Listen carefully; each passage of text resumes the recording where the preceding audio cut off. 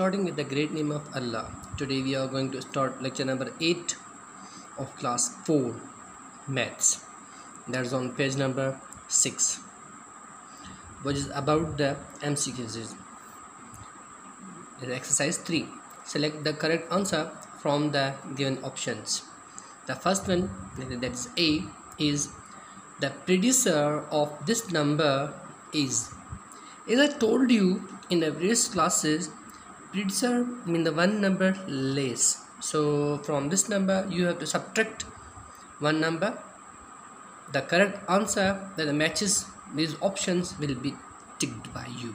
Okay, यानी कि इस नंबर में से आप वन काटेंगे ठीक है और जो आंसर आएगा उस पर आप टिक कर देंगे इसी तरीके से बी पे आते हैं eighty million four hundred and ninety thousand is figure is अच्छा यानी कि ये स्पेल लिखी हुई है नंबर नेम लिखा हुआ है, उसकी स्पेल आपको चेक करने के मैचेस करने हैं।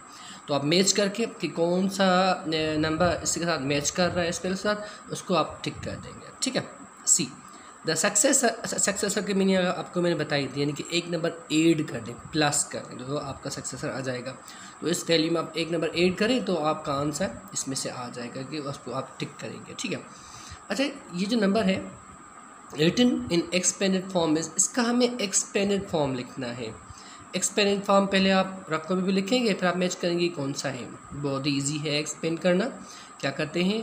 पहले जो नंबर यहाँ यहाँ से स्टार्ट करते हैं, इस तरफ़ से यानी कि एट से स्टार्ट करेंगे। एट लिखेंगे, फिर उसके बाद बाद जितने नंबर्स उतने ज़ीरो आ जाएँगे। प्लस लिखेंगे, फिर फोर लिखेंगे, उसके बाद जितने नंबर्स उतने ज़ीरो आ जाएँगे।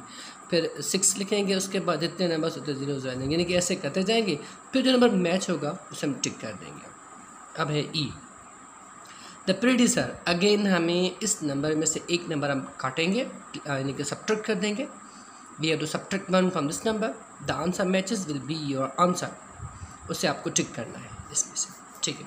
अब है number four write the given numbers in the words अच्छा आ, हमें ये जो है सॉरी ये नेक्स्ट एक्सरसाइज स्टार्ट हो रही है ठीक है? तो अब आप ये ई e तक आप हमें होमवर्क में आ, करके सेंड कर देंगे।